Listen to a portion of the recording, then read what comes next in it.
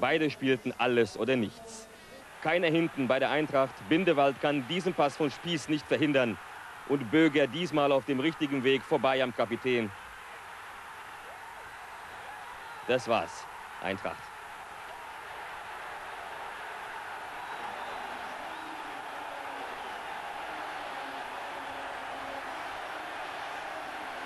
Bitter, bitter für uns, nach so einem Spielen abzusteigen.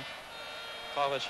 Ich glaube, wenn man im Kopf sich, sich schon, äh, also wenn man schon von allen Seiten abgehakt wurde und sich auch selbst im Kopf bei einem verfestigt, es wird riesig schwer, selbst ein eigener Sieg reicht nicht, dann tut es nicht mehr so weh.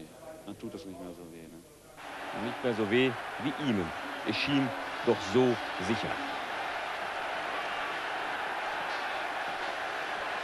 sind viele, die weinen, gell? Die viele, die weinen. Aber ich freue mich, dass die weinen. Wenn sie einmal jetzt im Moment wissen, was sie verloren haben, gell?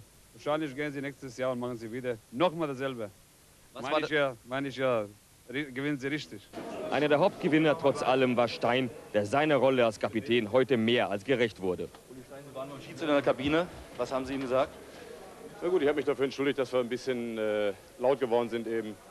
War es verständlich, wenn man um den Lohn einer ganzen Arbeit gebracht wird eines Jahres. Aber ich habe mich das Elfmeter, glaube ich, nicht? Elfmeter Böge an Weber. Ich kann es von hinten nicht so beurteilen, aber ich sag mal, der, was ich sehen konnte, war, dass Ralf ganz alleine durch ist, ihn eigentlich nur ins Tor schieben braucht und dann äh, von hinten umgehauen wird. Aber wie gesagt, sind Tatsachenentscheidungen, da kann man nichts gegen machen. Die Enttäuschung bei der Mannschaft ist riesengroß. Sie wirken besonders gefestigt. Haben Sie das schon geahnt in den letzten Wochen?